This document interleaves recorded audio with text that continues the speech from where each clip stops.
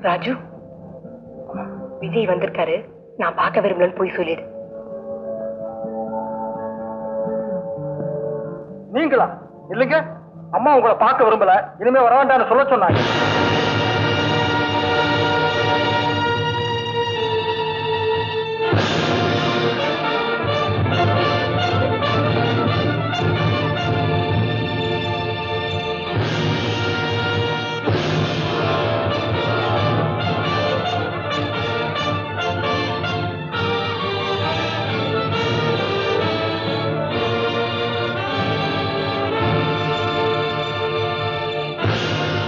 மாப்பிள தீர்ப்பு சொன்னது கோர்ட்ல உங்களை தேடினேன். அதுக்குள்ள எங்க போயிட்டீங்க?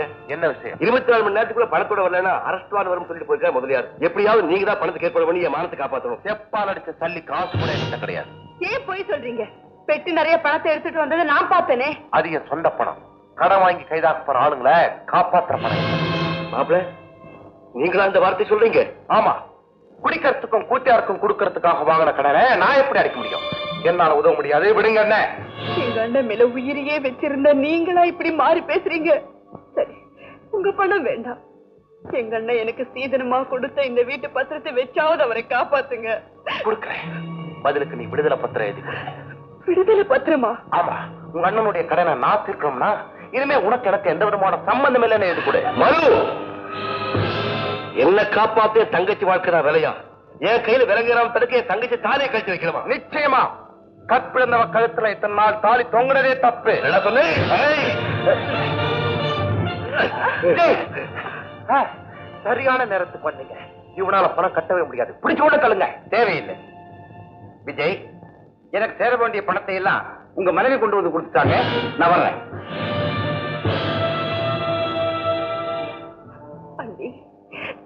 நீங்களா கொடுத்தீங்க ராதா தியாகின்னு நாம நினைச்சவன் நம்ம கழுத்துக்கே கத்தி வச்சுட்டான் துரோகின்னு நான் நினைச்ச மனைவி காப்பாத்திட்டான் காப்பாத்துறதுக்கு மட்டும் இல்லைன்னா என் கருவை சிந்திச்சதுக்காகவும் அன்னைக்கு நன்றி சொல்லணும்.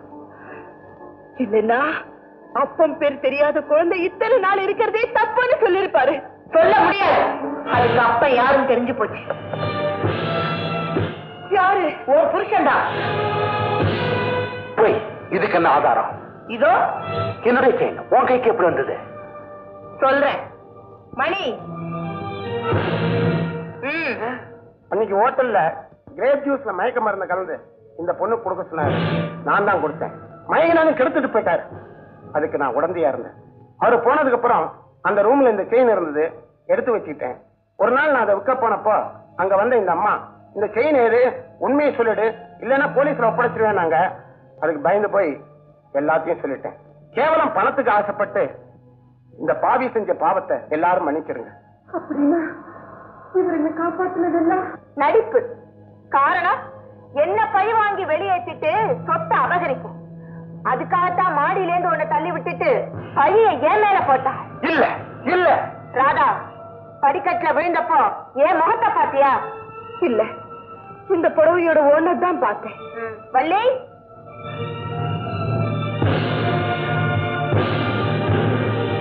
உன் புருஷன் இந்த புடவைய கட்டிக்கிட்டு தான் உன்னை தள்ளி விட்டான். வள்ளி யார் இந்த புடவைய கொடுத்ததுன்னு சொல்லு. இவங்க கணவர் கொடுத்ததா?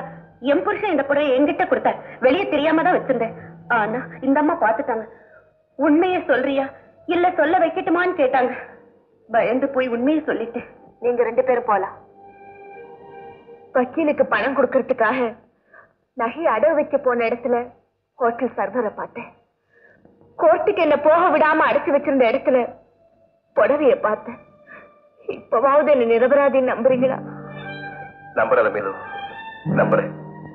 இவனை பத்தி நீ எவ்வளவோ சொல்லி இருந்தும் இந்த பாவை பேச்ச கேட்டு உத்தமையான உன்னை விரட்டி உத்தமையா இந்த நம்ம குடும்பத்தை அழிச்சேன். அப்பா சேர்த்து வச்ச சொத்தை குடிச்சே ஒழிச்சேன்.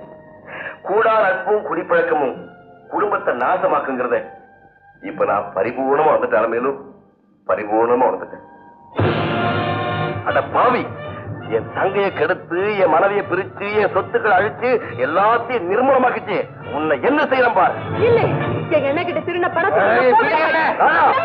விடுமா, நிறுத்துங்க. அவரை கொன்னுட்டா உங்க தங்கச்சி வாழ முடியாது. நான் செத்தாலும் பரவாயில்லை. இவனை உயிரோட விட மாட்டேன். திருந்துட்டேன் என்ன சுட்டுடாத? என்ன மன்னிச்சிரு? உன்னை நான் கெட்டி கட்டுக்கிறேன். உன் கால்ல விழுந்தா யாரும் ஆசையாதீங்க இருந்தே நீங்க என் வாழ்க்கையில குறுக்கிட்டேன் இப்ப ஆதாரங்களை காட்டிக்க திட்டங்களை அடியோட நாசமாக்கிட்டேன். முதல் பலி நீதான்.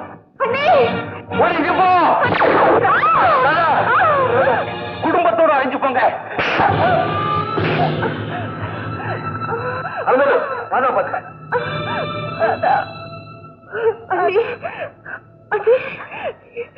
என்ன மன்னிச்சிடுங்க நீ ராதா, ராதா, ராதா.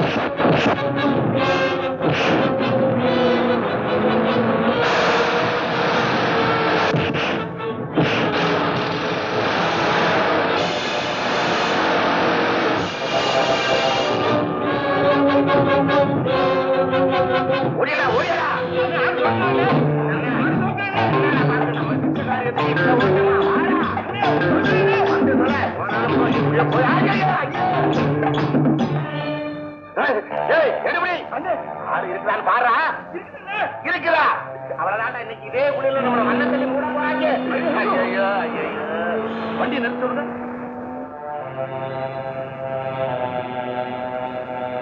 ராமு ஏண்டா இங்க அட, இன்ஸ்பெக்டர் இவனுங்க அந்த பாவி பாலுடைய கையால அவளை பிடிக்க சொல்லுங்க. ம், பிடிங்க.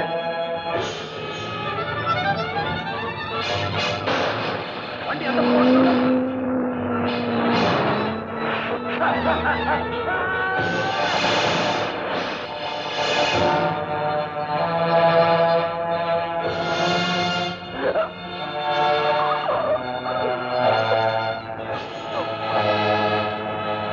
ஹலோ?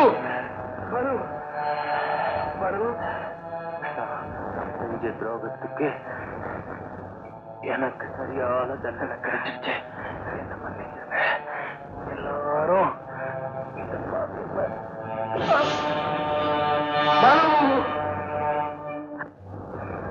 சிரிங்க சிரிங்க சிரிங்க சிரிச்ச மாதிரி இருங்க சிரிச்ச மாதிரி இருங்க. இப்ப ஏன் தெரியுமா உங்க ரெண்டு பேரும் போட்டோ எடுத்தேன்? இந்த படத்தை பெருசா என்ன பண்ணி? என் ஆபீஸ்ல மாட்டி வைக்கத்தான். எதுக்காக மாட்டி வைக்க போறேன் தெரியுமா? புருஷன் பொண்டாட்டிக்கு யாராவது தகராறு பண்ணிட்டு வழக்காட வந்தாங்கன்னா இந்த படத்தை காமிச்சு உங்க ரெண்டு பேருடைய வாழ்க்கையையும் பாடமா எடுத்து சொல்லி கோர்ட்டுக்கு போகாத அவங்க ரெண்டு பேரையும் ஒண்ணு சேர்த்து வைக்கத்தான். முருகன் உங்களுக்கு ஒரு உரையும் வைக்க மாட்டான். அப்புறம் வணக்கம். வணக்கம்.